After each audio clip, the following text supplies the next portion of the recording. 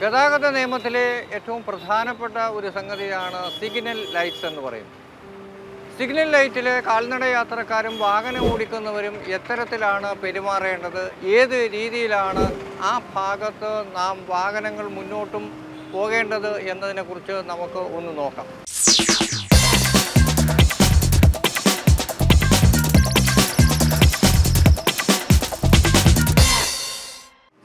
Light ഉള്ള ജംഗ്ഷനിൽ നമ്മൾ വാഹനം വളരെ കൃത്യമായ ശ്രദ്ധയോടെ വേണം ഓടിച്ചു പോകേണ്ടത്. സിഗ്നൽ ലൈറ്റ് ചുവന്ന പ്രകാശവും മഞ്ഞ പ്രകാശവും കൂടെ തെളിഞ്ഞിരിക്കുന്ന അവസരത്തിൽ ആൾക്കാർ മനസ്സിലാക്കേണ്ടത് റെഡി ടു ഗോ എന്ന്. അതായത് നമുക്ക് പോകാനുള്ള സമയമായി പോകാൻ വേണ്ടി തയ്യാറാകുക എന്നുള്ളതാണ്.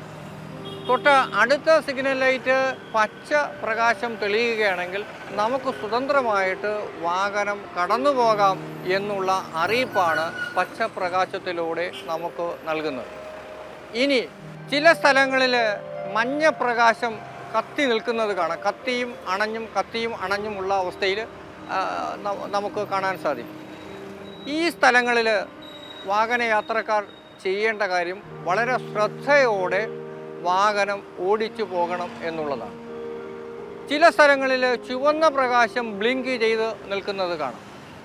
ഈ സ്ഥലങ്ങളിൽ വളരെ ശ്രദ്ധയോടെ വാഹനം ഓടിക്കുക മാത്രമല്ല ഈ സ്ഥലങ്ങളിൽ വാഹനം നിർത്തി ശ്രദ്ധയോടെ പോകണം എന്നുള്ള സന്ദേശമാണ് ആ വെളിച്ചത്തിലൂടെ നമുക്ക് വാഹന യാത്രക്കാരന് നൽകുന്നത്.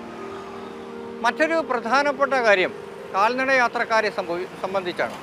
കാൽനട യാത്രക്കാർ ഇത്തരം സ്ഥലങ്ങളിൽ റോഡ് മുറിച്ച് കടക്കുന്നതിന് ഇത്തരം പച്ച പ്രകാശത്തിൽ കാൽനട യാത്രക്കാരന്റെ ചിത്രം ആലേഖനം ചെയ്ത ലൈറ്റ് പ്രകാശം എപ്പോഴാണോ തെളിയുന്നത് ആ സന്ദർഭത്തിൽ മാത്രമേ കാൽനട യാത്രക്കാരന് ഈ സ്ഥലങ്ങളിലൂടെ റോഡ് മുറിച്ച് കടക്കാൻ സാധ്യമാകുന്നുള്ളൂ. അല്ലെങ്കിൽ റോഡ് മുറിച്ച് കടക്കുന്നതിനുള്ള അവസ്ഥ അല്ലെങ്കിൽ റോഡ് മുറിച്ച് കടക്കാനുള്ള സന്ദർഭമാണ് എന്ന് കാണിക്കുന്ന പ്രകാശ സംവിധാനമാണ് പച്ച പ്രകാശത്തിൽ കാൽനട യാത്രക്കാരന്റെ ചിത്രം ആലേഖനം ചെയ്ത വെളിച്ചം തെളിയുന്ന മുറയ്ക്ക് കാൽനട യാത്രക്കാരന് ഈ ഭാഗത്ത് റോഡ് മുറിച്ച് കടക്കാൻ സാധിക്കും.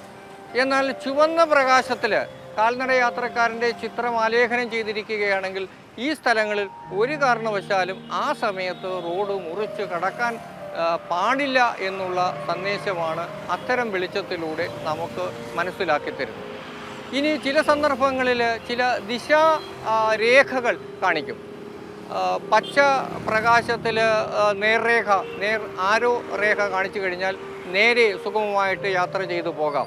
വശങ്ങളിലേക്കാണ് കാണിക്കുന്നതെങ്കിൽ വശങ്ങളിലേക്ക് യാത്ര സുഗമമായി പോകാം എന്നുള്ളതാണ് ഇത്തരം വെളിച്ചം കൊണ്ട് നമുക്ക് മനസ്സിലാക്കി നൽകുന്നത്.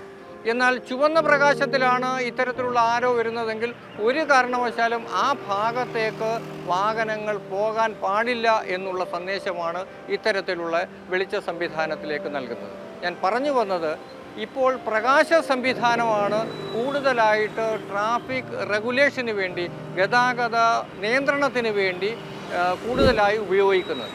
അപ്പോൾ തീർച്ചയായിട്ടും ഗതാഗതം നിയന്ത്രിക്കുന്നതിന് പോലീസിന്റെയോ മറ്റു ഉദ്യോഗസ്ഥരുടെ സാന്നിധ്യമില്ലാത്ത സ്ഥലങ്ങളിൽ ഇത്തരത്തിലുള്ള പ്രകാശ സംവിധാനത്തിലൂടെ സുഗമമായ ഗതാഗത സംവിധാനം നടപ്പിലാക്കാൻ സാധിക്കും എന്നുള്ളതുകൊണ്ട് ഇത്തരത്തിൽ കൃത്യമായി കൃത്യമായ സ്ഥലങ്ങളിൽ അല്ലെങ്കിൽ കൃത്യമായ രീതികളിൽ ഇത്തരത്തിലുള്ള പ്രകാശ സംവിധാനം പാലിച്ചുകൊണ്ട് റോഡ് നിയമങ്ങൾ പാലിച്ചാൽ അപകടങ്ങളെ ഒരളവ് വരെ നമുക്ക് കുറയ്ക്കാൻ സാധിക്കും എന്നുള്ളത് വളരെ എടുത്തു പറയേണ്ട സംഗതിയാണ്.